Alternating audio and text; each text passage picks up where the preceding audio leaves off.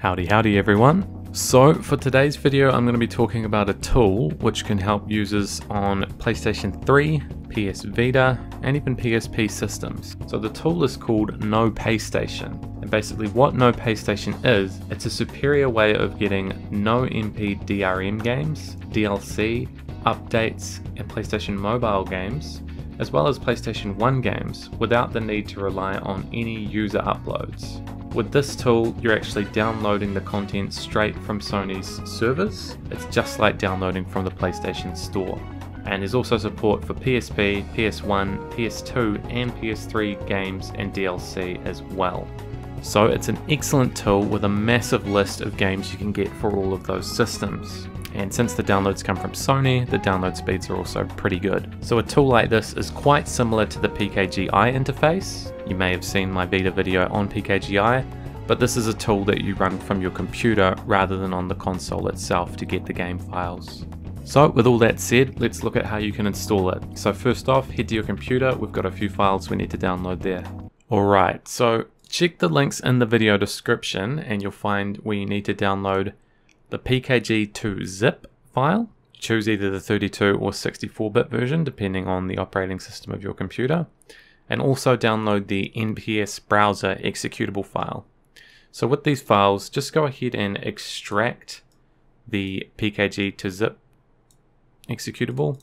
You can store that anywhere on your computer. And then go ahead and launch the NPS browser software. So it'll come up saying does not provide any links to external files you need to specify files with your links to the PKGs on your own.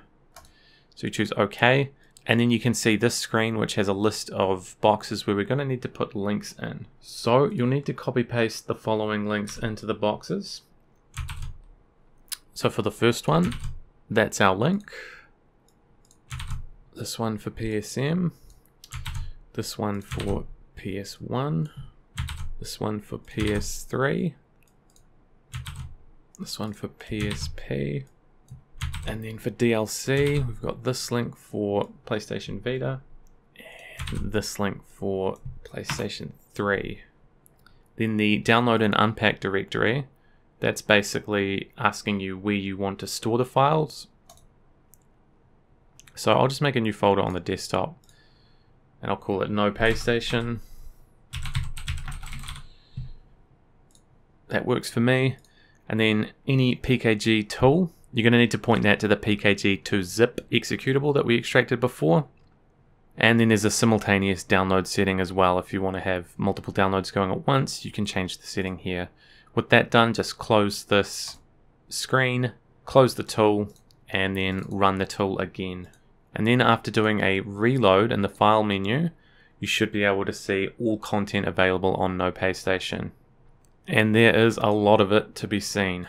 So basically just come through and tick the sort of content you're looking for.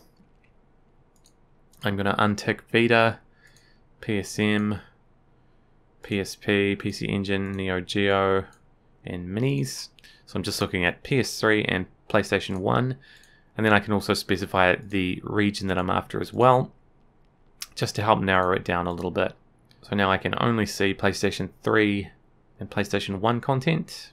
Pretty awesome. So let me think, what's a game that I'd like to get? I know, I'm wanting to play through Metal Gear Solid 1 on my Vita through Adrenaline.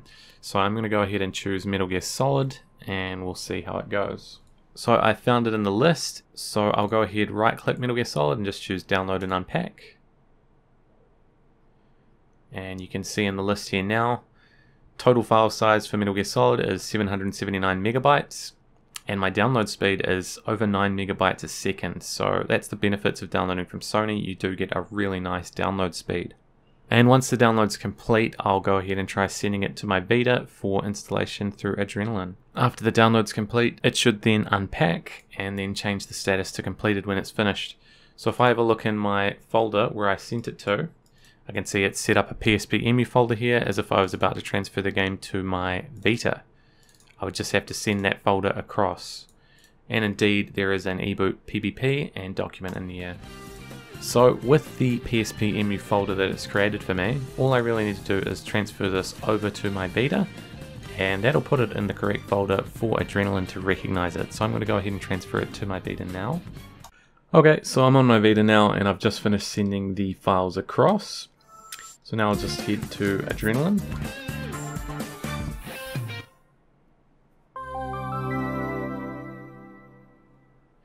And let's test that game out. Sure enough, it's detected it. And looks like it's going to load right up for us.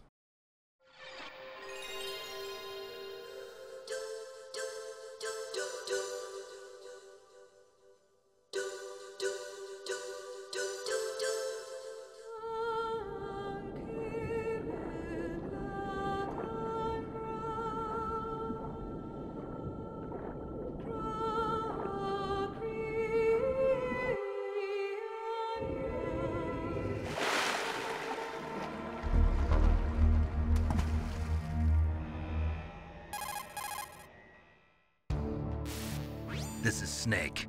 Colonel, can you hear me? Loud and clear. What's the situation, Snake?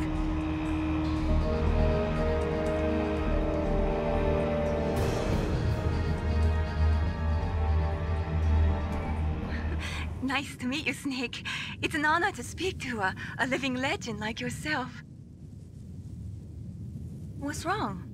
Nothing. I just didn't expect a world-class designer of military technology to be so... cute. You're just flattering me. No, I'm serious. Well, I know I won't be bored for the next 18 hours. Come on. I can't believe I'm being hit on by the famous Solid Snake. But uh, I'm surprised. You're very frank for a trained killer. Looks like we both have a lot to learn about each other. Yeah. I'm looking forward to learning about the man behind the legend.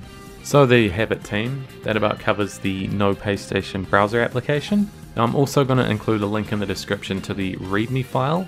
So in there you can see instructions on how to install all of the content. There's quite a few nice tutorials in that README file.